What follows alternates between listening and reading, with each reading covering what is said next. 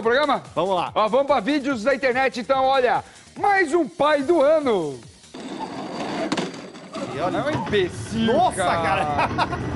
Só faltava ser uma moita de espinho, aquelas de espinho, assim, pra- Cacto. só animar a criança, né? Bom, é isso aí que teus amigos fazem quando você fica bêbado, olha só. Nossa! Nossa. Olha o estado da criança. Aí, ó. Essa é boa. Essa foi Muito bom. Essa foi boa. Boa ideia. Ó, gangorra humana. Ah, eu já vi isso aí. Olha, cara. Cara, eu tenho vontade de fazer pôr um negócio desse. Ah, isso é legal pra Isso eu tenho caramba. vontade. Eu, eu tenho vontade de pôr um negócio desse. Isso é muito Mas gostoso. Isso aí não é gangorra, isso é catapulta humana É. praticamente. Mais um motorista sem controle, olha só. Olha lá, Ó. Ó. olha o Elias indo pra morrer. Olha lá. É um remo. Olha lá, e o cara ficou em cima ali. É, equilibrou legal. Ó, vamos agora para animais incríveis e vamos falar do ranking agora, né? É um ranking com os animais mais mal criados desses últimos seis episódios que a gente exibiu. Então, solta aí.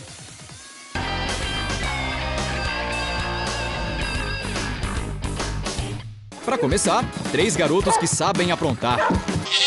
Mas isso é brincadeira de criança comparado com o que fizeram com o carro do Tom.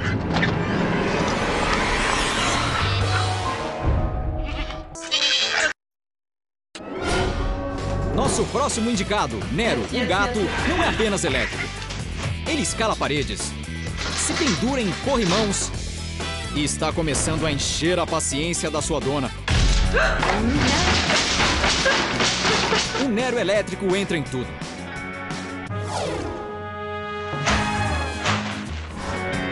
Nero também se interessa por moda. Ele escolhe a dedo os tecidos para forrar sua cama. E no último dia das bruxas, ele ajustou a barra do vestido da Lady Gaga e quase desenrolou a múmia. Mas são as toalhas de papel que o deixam louco de verdade. Mas ele é mais louco do que a Kemi carente? A queridinha da professora que quer que a senhora Youssef deixe a sua classe na mão todos os dias? Apenas uma das muitas evidências que o ritual matutino de Kemi deixou nas roupas de Mandy. Mas Kemi se vinga destruindo a casa dos Youssefs em New Hampshire sempre que eles saem. Mas os danos causados por Kemi ao longo dos anos exigem mais do que apenas band-aids. 10 mil dólares pode parecer difícil de engolir, mas não para Honey Bun. A mente criminosa por trás de um assalto à joalheria de Chuck e Ann Roberts, na Geórgia. Mas Chuck e Ann não faziam ideia de que Honey Bun tinha a mão leve e um fraco por pedras preciosas. Até o dia em que Chuck deixou um envelope de plástico com dois diamantes em sua mesa. Valor total: 10 mil dólares.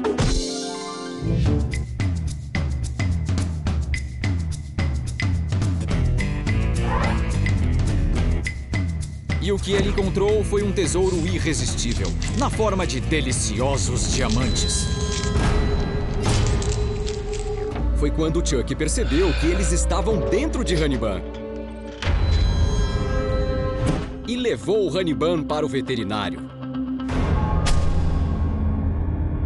Então, o Dr. Watley recomendou o método tradicional. Come on, let's go. Anne foi para casa, esticou alguns tapetes higiênicos e ficou lá esperando. Na mesma tarde, Hannibal devolveu os diamantes em estado bruto. Good boy, yay! O resgate foi meio sujo, mas compensou o esforço. Os diamantes podem ser o melhor amigo de uma garota, mas esse cachorrinho encontra os seus tesouros no lixo. Maji, did you go in the garbage?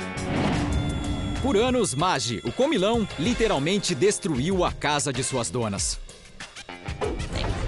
Mas a comida favorita de Magi vem de uma lata. A lata de lixo. E se uma delas estiver dando mole pela casa, Magi vai encontrá-la. Tudo isso aconteceu quando a mãe de Magi teve que sair por alguns minutos e se esqueceu de fechar as portas.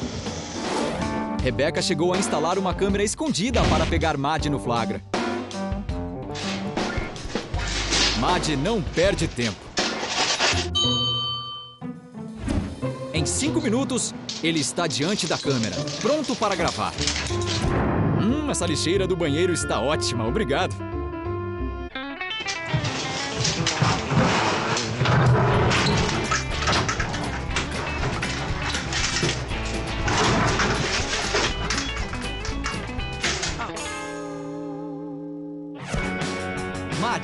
Adorável comilão, foi pego no flagra não uma, mas duas vezes.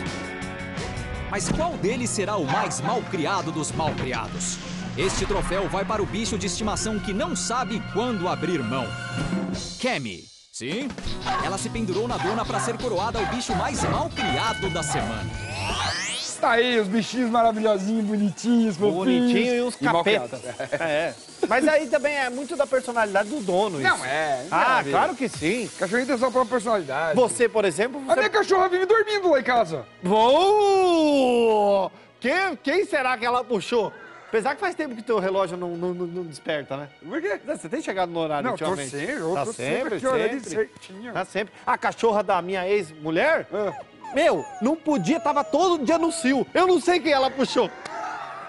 Eu não sei quem ela puxou. Eu não sou. Vamos mandar abraço! Vamos mandar abraço! O Rafael tinha que ter uma ovelha, né? Pra ser a cara dele, tinha que ser uma ovelha. Mas eu quero mandar abraço, mandar abraço? E o Lúcio, aquele mamute do... Do- Era do gelo. Era do gelo. é. O Mar... Mar... O, o Mar... Martin. Não, Mar... não, é. é, Merlin. Mar... Merlin, Não, não, não, Merlin, é é? aquele peixe, pô. Como é que é o nome?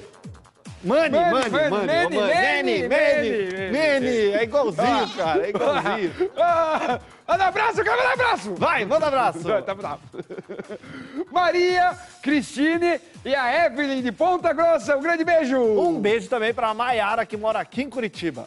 O Guilherme, quê? Kercher. Kercher, Kercher de Jucas do Sul, grande abraço! O Everton de Sarandi também, um abraço pra ele. Vamos intervalo, já voltamos com mais Sala na Mista, então não sai daí.